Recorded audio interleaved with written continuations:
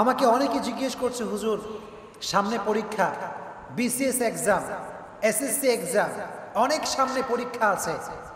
How can we get the good result in examination পরীক্ষায় ভালো ফলাফল কেমন করে করতে পারি?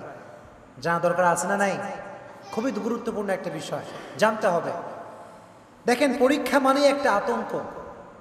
পরীক্ষা আসলেই ভিতরে একটা মানসিক দুশ্চিন্তা কাজ করে। যে হায় হায়, আমি কি ফেল করব? নাকি পাস করব? এই দুশ্চিন্তায় অনেকে আবার আত্মহত্যা করে। কিন্তু তারা পাগল। পরীক্ষা এতটাও ডিপ্রেশনের কোনো বিষয় নয়।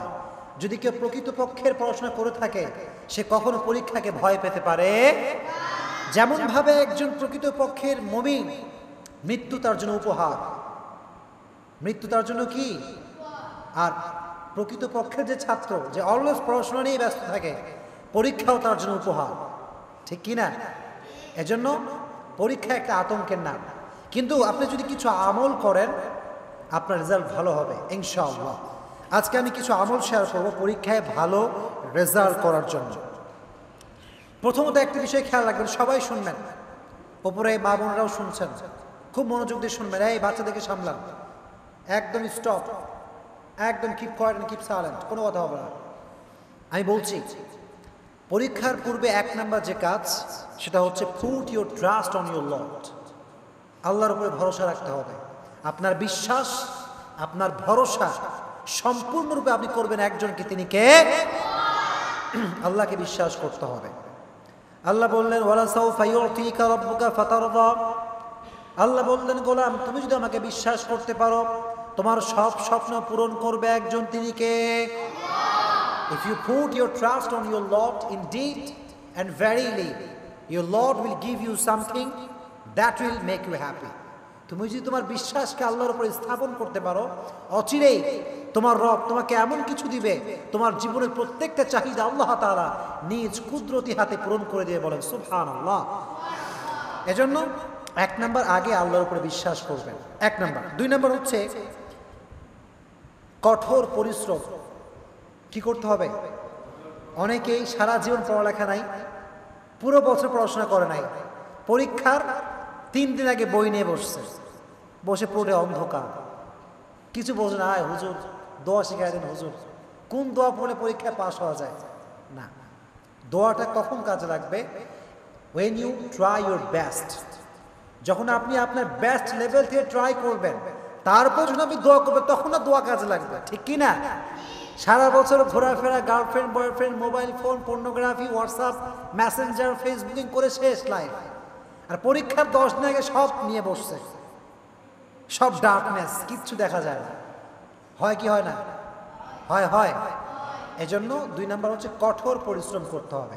এই দুইটা স্টেপ আগে ফলো করবেন। তিন নাম্বার, এটি একটি আমল, সেটি হচ্ছে ভালো করে শুনবেন। পরীক্ষায় যখন যাবেন, যাওয়ার আগে দুই রেখার সালাতুল হাজত। সালাতুল হাজতের নামাজ আদায় করবেন। দুই রেখাত নামাজ দাঁড়াবেন। দাঁড়িয়ে নিয়ত করবেন যে আমি দুই রেখাত সলাতুল হাজতের নামাজ আদায় করছি। নামটা কি বলেন দেখি? সলাতুল হাজত। বিশ্বনবী যখনই ওনার কোনো প্রয়োজন হতো, যখনই কোনো সমস্যা হতো, উনি সেই কাজটা করার আগে বিশ্বনবী দুই রেখার সলাতুল হাজত নামাজ আদায় করতেন। আবু দাউদ এসেছে। এজন্য আমরা যখন পরীক্ষা দিতে যাব পরীক্ষায় যাওয়ার আগে দুই রেখাত সকলেই সলাতুল হাজত নামাজ আদায় করব বলেন ইনশা আল্লাহ এজন্য এক নম্বর আমল হচ্ছে সলাতুল হাজত। অলওয়েজ পড়বেন পরীক্ষায় যাওয়ার আগে, ইনশাআল্লাহ। এবং সলাতুল হাজত পড়ে আল্লাহকে আপনার সমস্যার কথা বলবেন, আল্লাহ। আমার সাধ্য অনুযায়ী আমি ট্রাই করেছি। এখন তুমি আমাকে সাহায্য করবে। পরীক্ষায় কোনো সমস্যা হলে তুমি সমাধান দিবা। এ দোয়া করা যাবে ইনশাআল্লাহ? জোরে করো না, ইনশাআল্লাহ। এক নাম্বার। দুই number.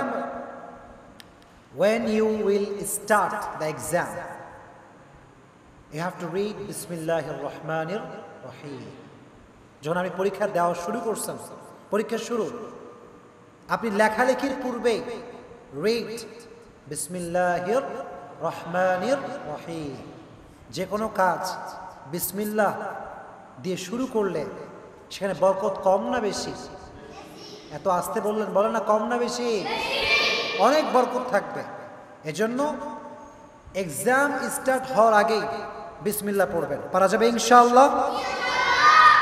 এটা হচ্ছে দুই নাম্বার। তবে আরেকটি বিষয়, মাঝে মাঝে এক্সাম দেওয়ার ক্ষেত্রে অনেক সময় আমাদের উত্তর মনে আসে না। আছে না নাই? যখন এক্সামের কাগজ পেয়েছি, সব দেখছি যে না, এটা পারব এটা পারব, সব ঠিকঠাক আছে। লিখতে লিখতে দেড় ঘণ্টা পরে গিয়ে যেই উত্তর মনে ছিল ওটা আমরা ভুলে যাই। এরকম হয় না? কি করবেন তখন? এই মিডল অফ এক্সামিনেশন এই সময় যখন আপনার সব ভুলে গেছেন আপনি, তখন আপনি পড়বেন রব্বিশ রাহলি সদরি। আমার সঙ্গে সবাই পড়েন রব্বিশ রাহলি সদরি। আমরি। আওয়াজ নাই রে ভাই, একটু জোরে আমার সঙ্গে সবাই। মুখস্থ করতে হবে। রব্বিশ রাহলি, সদরি। ওয়াসিরলি আমরি। পারা যাবে ইনশাল্লাহ তাহলে আমরা রব্বিশ রাহলি, সদরি। ওয়াসিরলি আমরি। পড়বেন ইনশাল্লাহ আরেকটা আমল শেখাই। যখন পরীক্ষার মাঝে কোনো উত্তর ভুলে যাবেন, আপনারা পড়বেন দুরুদ শরীফ। দুরুদ ইব্রাহিম, মুখস্থ সবার? আল্লাহ সাল্লি আলা মোহাম্মদ ওয়ালা আলী মোহাম্মদ কেমা সল্লাইটা আলা ইব্রাহিম ওয়ালা আলী ইব্রাহিম, ইন্নাকা হামিদুম মজিদ। যখনই পরীক্ষার মাঝে ভুলে যাবেন, ভুলে গেছেন, কিছুই মনে আসছে না, বেশি বেশি দুরুসই পড়তে পারবেন ইনশাআল্লাহ? জোরে করে ইনশাআল্লাহ? এক নাম্বার আমল, যাওয়ার আগে সুরাতুল হাজত পড়বেন। কয়েক নামাজ? এক নাম্বার। দুই নাম্বার, যখন এক্সাম দেওয়া স্টার্ট করবেন পড়বেন বিসমিল্লাহির রহমানির রাহিম। তিন নাম্বার হচ্ছে মিডল অফ এক্সাম এক্সাম চলছে। অ্যাট দ্য সেম টাইম আপনি প্রশ্ন উত্তরই ভুলে গেছেন, মাথায় আসছে না। তখন আপনি পড়বেন রব্বিশ রাহলি সদরি ওয়াসিরলি আমরি। পড়েন আবার আমার সঙ্গে রব্বিশ রাহলি সদরি ওয়াসিরলি আমরি। পড়বেন ইনশাল্লাহ আবার যদি ভুলে যান বেশি বেশি পড়বেন দুরুদে আমার সে পড়েন আল্লাহুম্মা সাল্লি আলা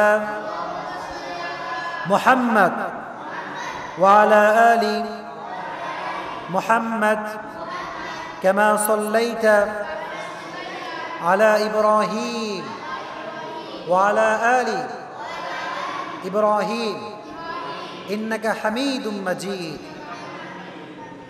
এই দোয়াটা বেশি বেশি করবেন, দুরুদটা বেশি বেশি করবেন, পারবেন ইনশাআল্লাহ? এই আমলগুলো সকলকে আল্লাহ অ্যাপ্লাই করার তৌফিক দান করুক, পড়া, আমিন।